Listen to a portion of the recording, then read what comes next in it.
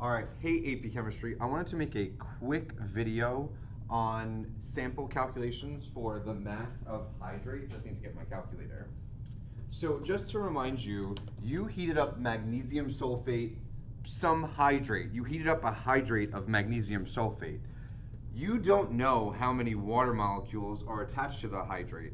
And so to remind you what a hydrate is, it's some ionic compound that has water molecules stuck to it in the solid state. When you heat it up, those water molecules will boil off or evaporate, or not boil, will boil off as a gas. And you'll get a mass difference when you heat them off.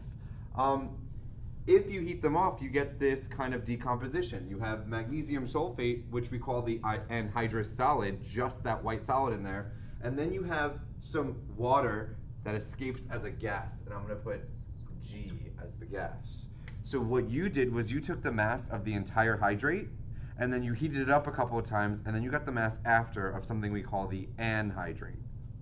So I have some sample data for us to look at. Let's say the mass of my entire hydrate was 6.923 grams. That's this whole thing, and I don't know how many water molecules are on there.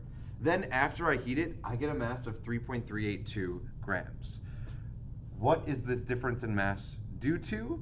Well, I'm gonna say loss of mass or mass loss. And I'm gonna get that number. My mass loss is going to be, and then think about what this mass loss, loss is again.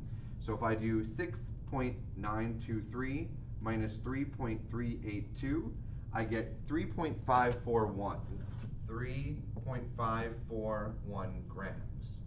This is my mass loss. This mass loss is due to water that left the system.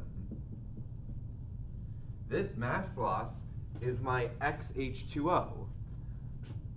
Now I have a mass of my water and I have a mass of my magnesium sulfate as a regular ionic solid, not as a hydrate.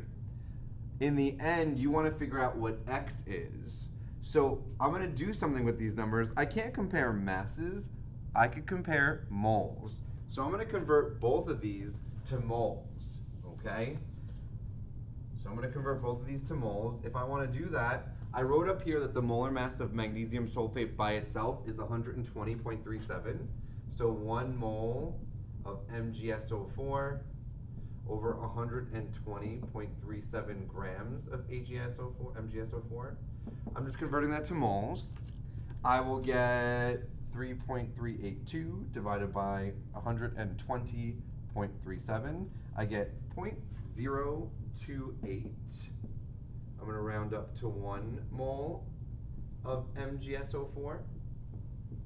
And now I'm going to I'm going to convert these grams to moles of water. I'm going to use the molar mass of water. Remember, this mass loss is due to water that left. It's this H2O that left the system. So one mole over 18 grams of H2O. And if I do this calculation, 3.541 divided by 18, I get 0.197 moles of H2O. Now, I have how many moles of H2O there are. I have how many moles of MgSO4. If I want to figure out what my value of X is, or how many water molecules came off per mole of MgSO4, I'm going to divide my moles of H2O by my moles of MgSO4. That's going to give me my number of H2Os that came off in the hydrate. So if I do this, I'll have 0.197 moles over 0.0281 moles of H2O for MgSO4. And I will get, if I do this math correctly, 0.197 divided by 0.0281. Huh, look at that.